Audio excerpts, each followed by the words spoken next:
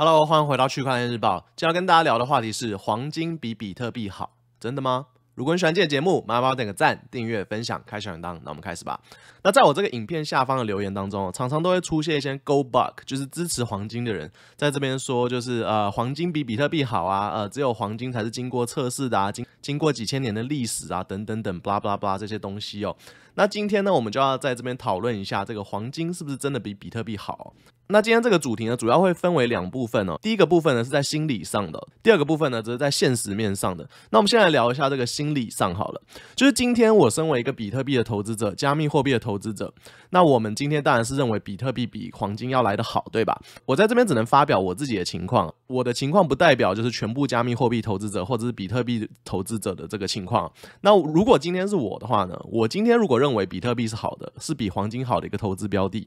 我就不会去花时间去看一些黄金的频道，或者是关于黄金的消息哦。所以更不用说这个，我今天我还特地上 YouTube 去找这个黄金的影片啊，介绍黄金的影片啊，为什么我们要买黄金的影片啊？然后在看了这些影片之后呢，然后要去这个黄金影片的下方表示说啊，你们这个支持黄金都是头脑不清楚啊，要买比特币才对啊，比特币才值钱啊，黄金不值钱啊。然后去在这个黄金的频道下面去跟这些支持黄金的人呢做一个这个辩论哦。因为今天在我心里，比特币就很。明显的比黄金要好，所以在我的认知上呢，这就是一个事实，我们也不需要去辩解或什么的。那我自己投资的金钱呢，也是百分之一百在加密货币里面，并没有在黄金上面哦。所以我认为去争论这件事情呢是没有任何意义的，我也从来不会做这样的事情。我不知道大家有没有一样的感觉哦。那今天如果身为黄金的支持者呢，他们却非常喜欢到这个比特币频道或者是加密货币频道下面，就是批评这个啊，批评那个啊，然后讲说黄金真的多好多好，有的没的。那关于这件事，我在我节目之前有跟大家聊到过了，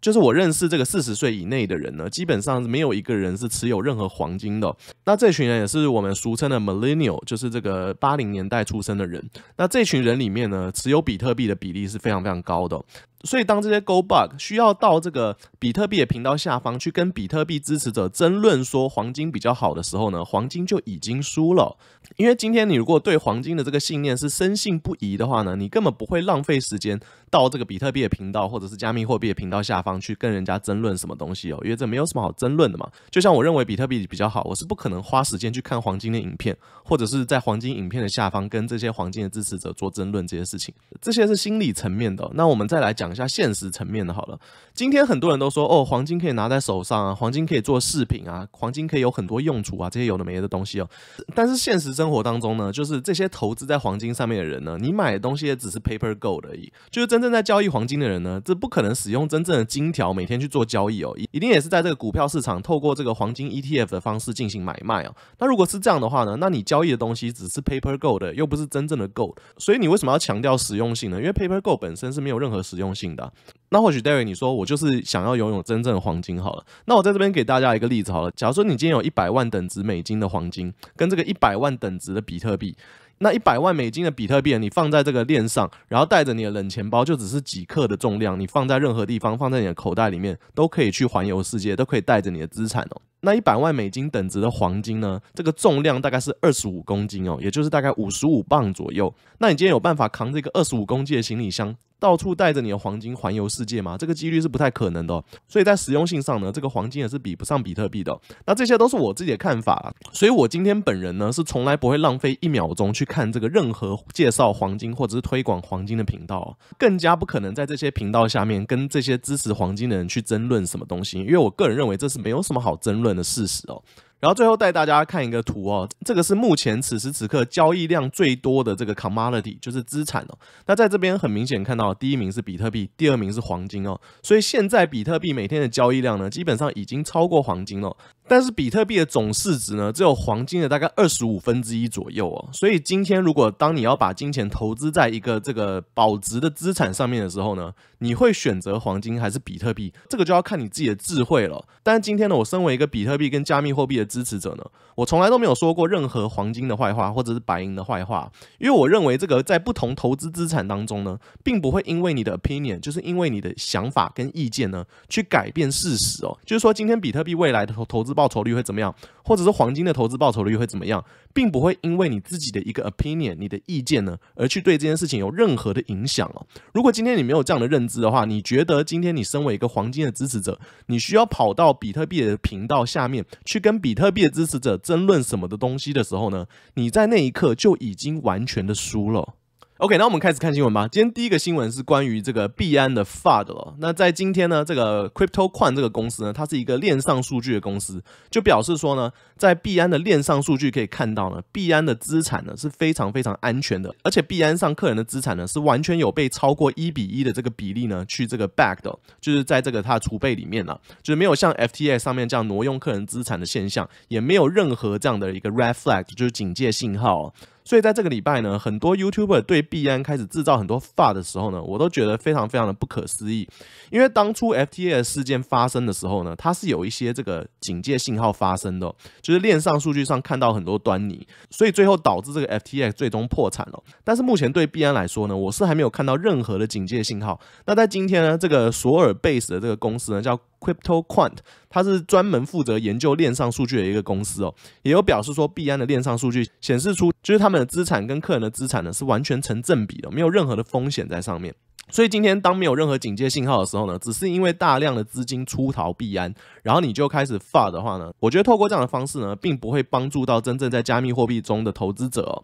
因为在 FTX 破产之后，这个加密货币市场呢处于一个极度动荡的一个阶段哦，所以如果在此时此刻呢，还要因为一些这种小道消息或者是没有任何证据的消息，然后在这边散播发的话呢，我认为对这个加密货币板块呢，并不会是一件好事哦。那身为加密货币的博主呢？我认为我们的工作呢，就是要提供一个稳定的声音哦，而不是在有任何小道消息的时候呢，在这个极度动荡的环境下去散播更多的发，制造更多的恐慌，让更多人因为 FUD 呢，把手中的资产在这个低点给抛掉了。今天币安的 CEO CZ 就表示说呢，目前所有加密货币的使用者当中呢，只有大概百分之一的人知道如何自己持有自己的资产哦。对于这件事情呢，也就是我在节目当中一直强调以及推广的，就是今天我们在加密货币里面，身为一个加密货币的投资者呢，绝对要把这个最基本的概念给学好，就是 Not your key, not your crypto。Not your key, not your coin。就是说今天我们如果没有持有自己的这个钥匙的话呢，这些加密货币资产都不属于我们哦。也就是说，今天你把资产放在这个交易所上的时候呢，这些资产就属于交易所，并不是属于你的。你一定要学着使用这个热钱包或者冷钱包，自己持有资产呢，这样子才是你真正拥有自己的资产哦。但是今天这个数据我看到的时候，其实有点惊讶，因为我没有想到是这个一个 percent 这么低啊。我们觉得应该可能个十五二十 percent 左右吧。但今天 CZ 表示说呢，此时此刻呢，真正有自己持有自己加密货币资产能力的人呢，只有百分之一左右。那我相信我的观众里面呢，应该至少有个三十 percent 到四十 percent，应该都是自己持有自己的资产在这个冷钱包里面哦。那我们区块链日报 BD 团的团员呢，我相信也是币圈里面这个投资知识最好的一群人哦。关于这一点，我自己也是觉得非。非常非常骄傲的一件事情，因为往往看到加密货币频道下方的留言，不是 FUD 就是 FOMO，就是充满这种追高杀低的言论哦。但是在我们的留言区呢，就非常非常少出现这样的现象哦。下一个新闻是关于 SBF 昨天正式的被拘捕啦。那我们在下面可以看到一些这个目前关他的这个监狱的一些状况啊。那这个是几年前流出来的，那这个监狱后来有被改建过，所以现在我相信应该是好一些哦。但是我们可以看到过去几年前的这个监狱的这个情况跟环境是多么糟糕啊。然后在下面呢，我们可以可以看到更多的影片啊、照片啊等等哦，去介绍这个监狱。然后这个呢是昨天 SBF 被拘捕时候的这个有人偷拍到一个照片哦，就是在当天晚上呢，SBF 是穿着一个白衬衫，然后这个蓝色西装呢就被上着手铐带走了，那就是带到这个监狱。然后改建后的这个门面呢就是长这个样子，所以看起来应该是干净了一些啊。然后在这边呢，我们更可以看到这个 SBF 被拘捕时候的一个影片哦。我相信 SBF 被拘捕的这件事情呢，大部分的人应该都是开。开心跟支持的，那我相信 SBF 在监狱当中应该是非常非常难过啊，因为第一他没有办法进行他这个素食进食的习惯了，然后第二呢，我相信在监狱当中他应该也是没有这个英雄联盟可以玩了。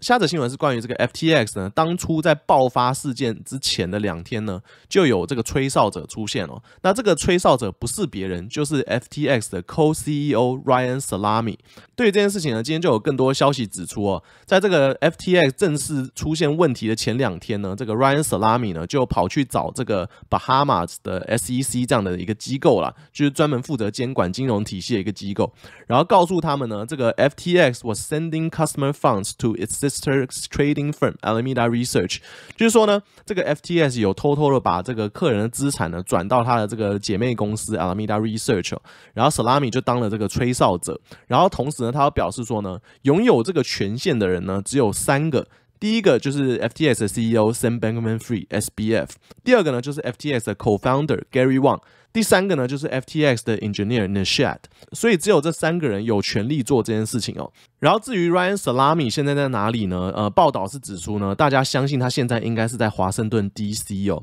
然后为这个 FTX 破产事件提供出更多他知道的这些证据等等的。因为 Ryan Salami 呢，自从十一月七号之后呢，就从推特上正式消失了，所以他目前身在何处也是没有得到一个确定的消息哦。只是大部分人在猜测他应该是在这个华盛顿 DC 做一些提供证据的这个证人的这个角色哦。那对于 FTS 的这个听证会呢，昨天第二天是非常非常的激烈，然后有这个很多这个对加密货币不友好的参议员，然后对加密货币友好的参议员，以及 Kevin O'Leary 都有参与在其中哦。那对于这个听证会呢，我不知道大家还有没有兴趣听，因为昨天有人说这个不想再看 FTS 相关的新闻了。那如果你对第二天的这个听证会有兴趣的话呢，欢迎一定要在下面留言区留言让我知道。这个如果留言多的话呢，我会在周末的时候想办法做出这个精华，再整理给大家看哦。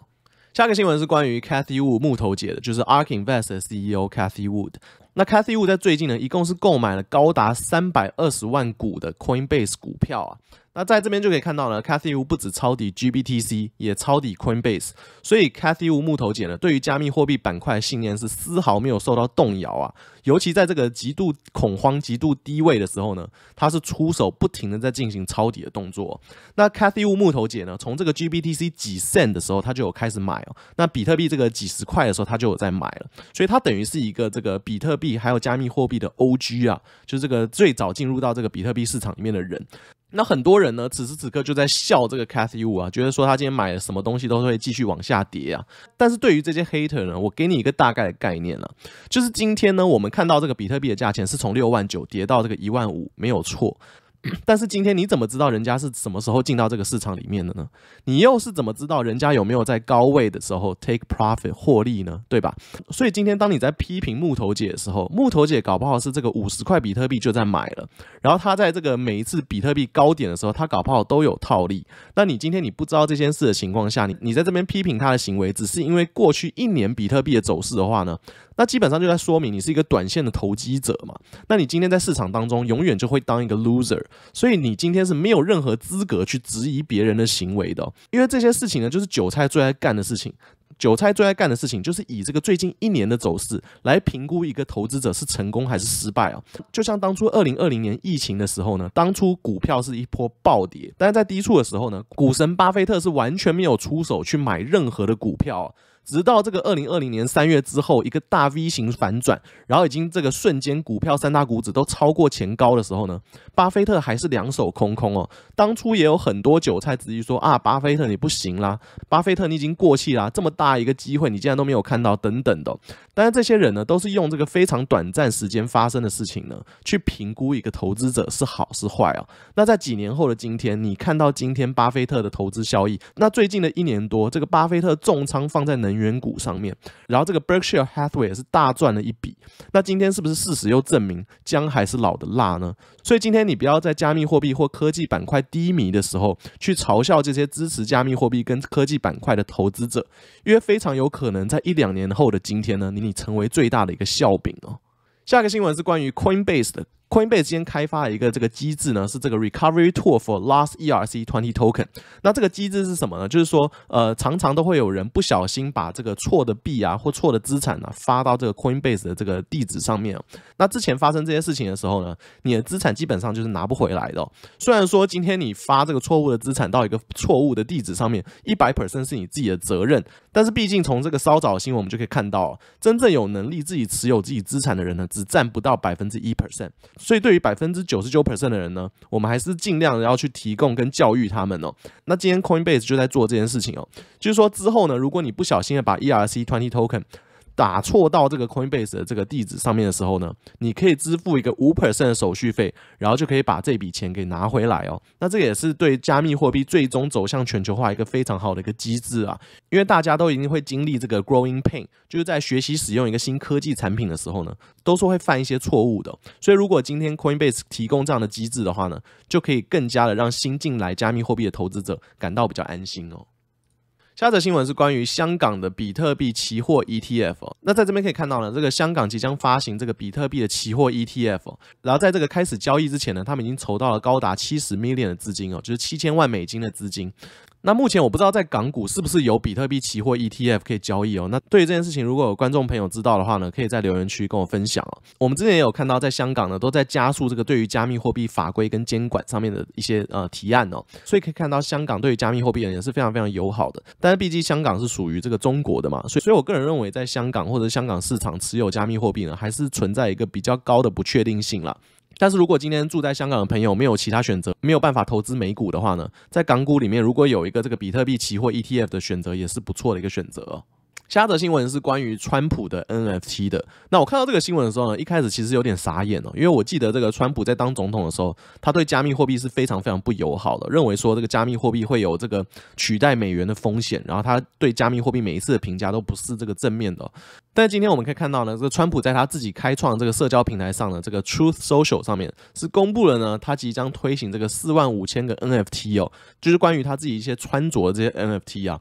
所以看到时候呢，我是蛮惊讶的。那这个 NFT 呢，会透过这个 Polygon 去发行哦。那我们也可以看到，这个 Polygon 呢，在这个现实当中的使用度是越来越多，包含这个迪士尼啊、Nike 啊，都是选择这个 Polygon 这条链哦。那今天这个川普的 NFT 也会透过 Polygon 这条链去发行哦。那这个价值呢是九十九块，所以一个这个川普的 NFT 的价值呢是大概九十九块美金哦。但对我来讲呢，我自己不是一个川普的支持者，所以我对这个东西是完全不会有兴趣的。但是我知道这个在美国有非常非常多喜欢跟支持川普的人。那我相信，如果今天你是这样子的人的话呢，你就可以考虑去购买这个川普的 NFT 哦。OK，那今天新闻就跟大家聊到这边啦，希望大家有一个愉快的周末。如果你喜欢今天节目，麻烦帮我点个赞、订阅、分享、开小铃铛。那我们下周见啦，拜拜。